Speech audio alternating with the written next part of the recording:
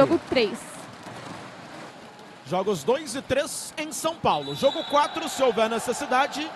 De volta aqui em Fortaleza. O jogo 5 também, se houver necessidade em São Paulo. Aí uma falta de ataque do Paulistano. Agora passe de bola é do basquete cearense. Você vê o Bial ali sempre gesticulando. Técnico da equipe do basquete cearense. Do outro lado, o Gustavinho também. Não para. Novamente para você a jogada. Falta de ataque do Paulistano.